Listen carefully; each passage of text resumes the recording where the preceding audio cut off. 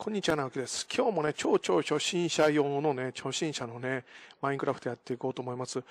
えっ、と、前回まではね、こうやって、えっ、と、家を、超初心者が、ね、家を作って、で、なんとかね、朝まで耐えることができましたと。もう、ちょっと本を見たらね、昆布食えって書いてあるんだよね。で、ちょうど、ほら、なんか、私、海の近くにいたので、昆布でも食ってみっかな、みたいな。あ、よしよしよし。これ昆布だ、昆布。うわぁ。よしよし。いい感じで昆布が取れる。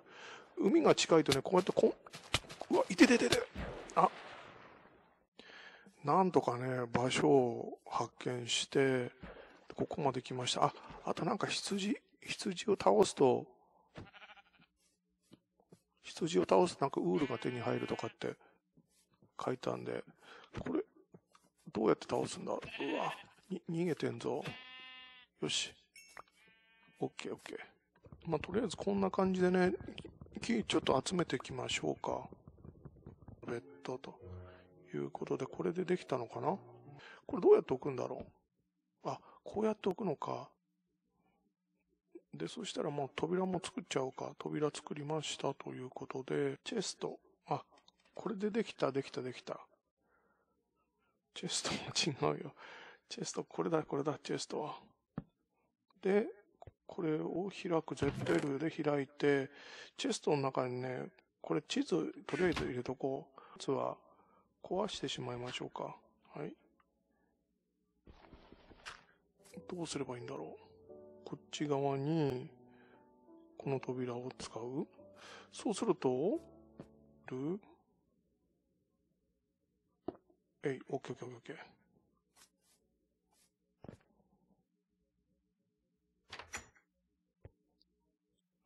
あ、わかった。ZL で開けて、えい、ちょっと待った。ZL で、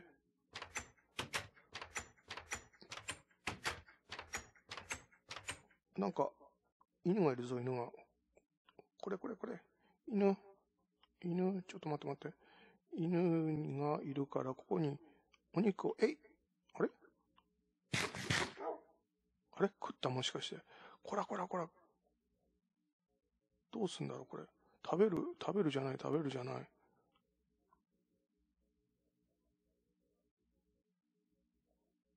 はい。これを、え、何？落とす？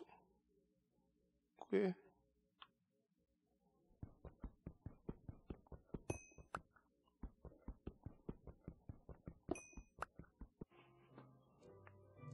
あ、今ね、あの、撮ってると思ったら撮ってなかったんで、これでね、かまどを作りました。なんか石がね、あればね、ほら、かまどができるっていうことで、ちょうど石があったので、できましたということです。はい。なんかいろいろね、本当に私超初心者なんで、実績がいちいちピロリンピロリンって出てくるよね。で、そしたら、えっ、と、なんか、どう、どうすんだ？このかまどを使うには、なるほど、なるほど。で、これね、えっ、と、もしかして、なるほど。石炭を置いて、で、お肉を置く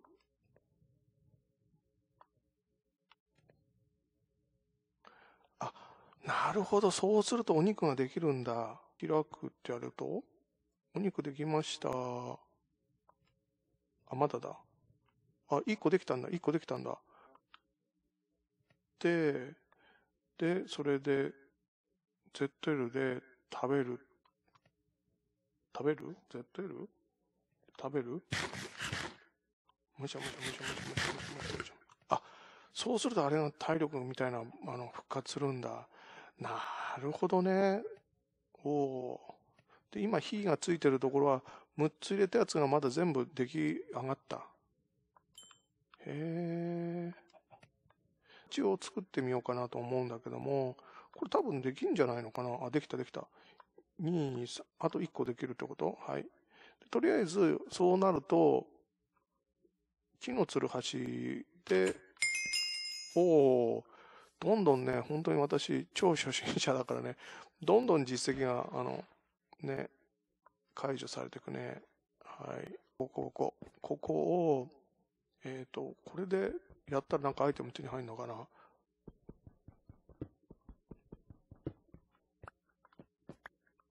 なんかポコポコってなんかなったね。ポコポコってなったのは何なんだろう？これか。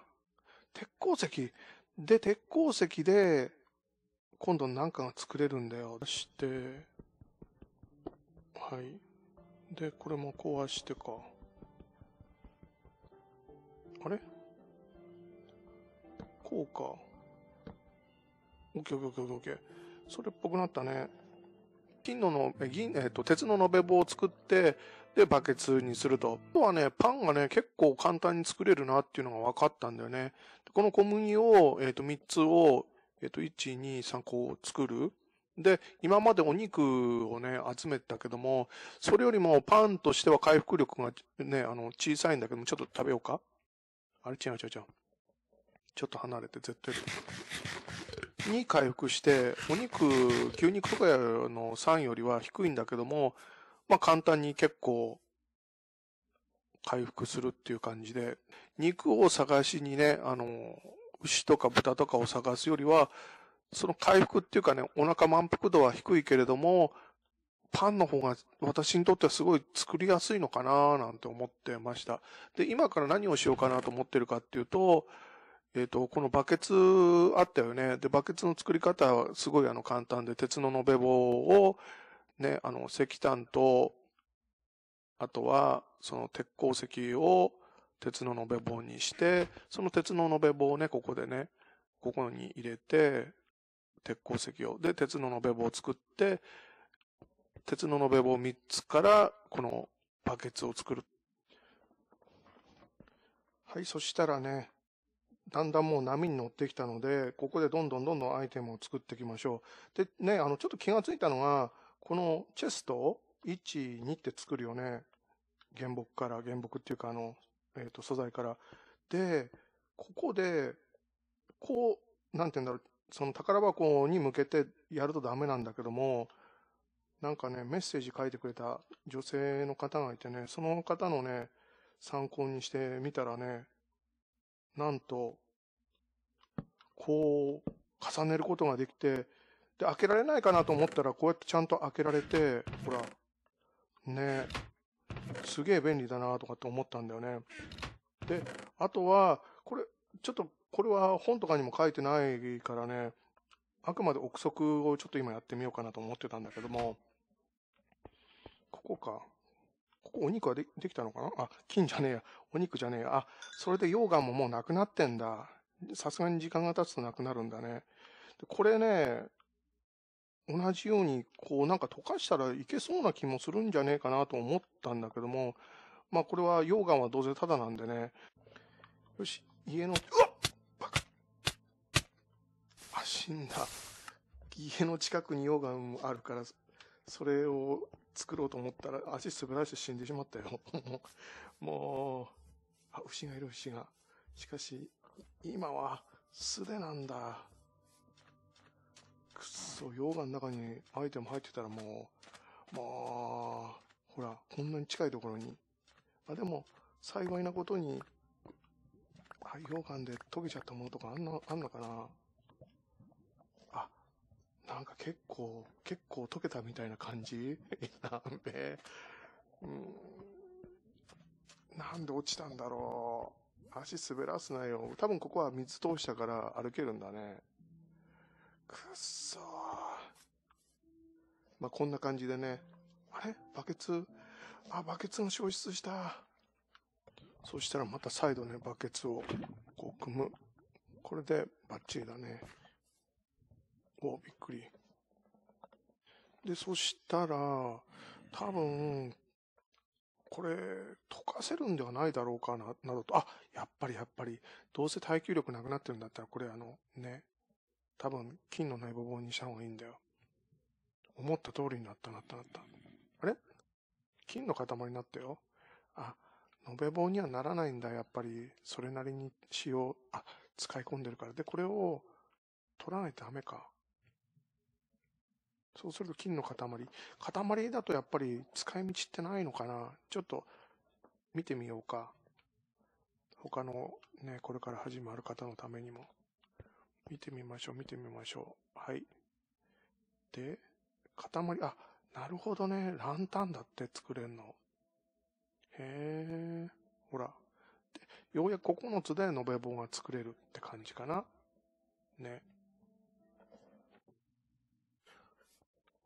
とりあえずね、骨をね、与えてね、絵付けしてみてよ。5匹5匹。これで、敵に殺されることもゾンビとかに殺されることもないだろう。結構ね、あの、ゾンビのお肉がね、手に入ったんでね、もう、永久期間でこれでゾンビを倒しまくり、お肉をね、確保するっていう、すごい作戦。ほら、すごいすごい。